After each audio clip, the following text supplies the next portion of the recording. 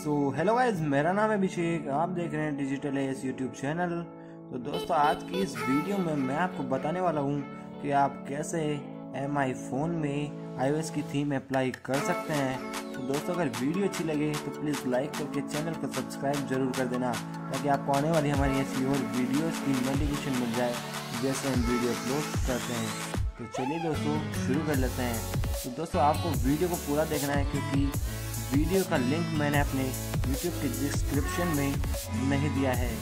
आपको मैं इस वीडियो में डाउनलोड करके दिखाऊँगा चलिए दोस्तों, शुरू करते हैं।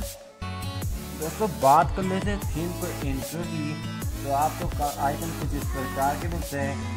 जो प्योर आईओएस में चेंज है। तो देख सकते हैं आप, पूरे आइकन चेंज हो चुके हैं आईओएस थीम में।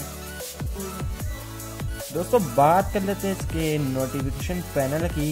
नोटिफिकेशन पैनल आपको कुछ इस प्रकार का मिलता है जो प्योर आईओएस में चेंज है। दोस्तों, आगे हम बात करते हैं इसके डायलर पेड की।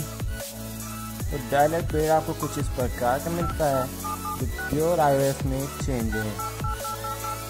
दोस्तों, आगे हम बात करते हैं इसके सेटिंग्स की। तो सेटिंग्स आपको कुछ इस प्रकार की मिलती है जो आपके फ़ोन को एक आईओएस फ़ोन में चेंज कर देती है। दोस्तों देख सकते हैं आप म्यू आई इलेवन का अपडेट जिसके अंदर आई थीम को अप्लाई कर दिया है। दोस्तों, बात कर लेते हैं थीम के कुछ और फीचर्स के बारे में। तो इसमें आपको कैलकुलेटर कुछ इस प्रकार का मिलता है। तो दोस्तों, बात कर लेते हैं इस थीम को कैसे डाउनलोड करना है और कैसे अप्लाई करना है। तो आपको सिंपली आपके एम आई फ़ोन के थीम स्टोर को ओपन कर लेना है।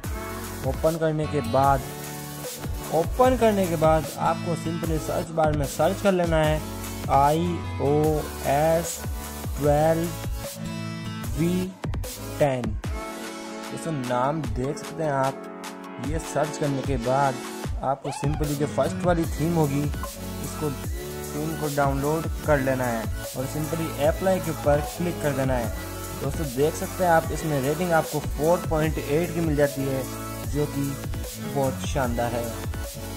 दोस्तों, ये था थीम के लिए छोटा सा वीडियो तो दोस्तों, अगर वीडियो अच्छी लगे तो प्लीज़ लाइक करके चैनल को सब्सक्राइब ज़रूर कर देना।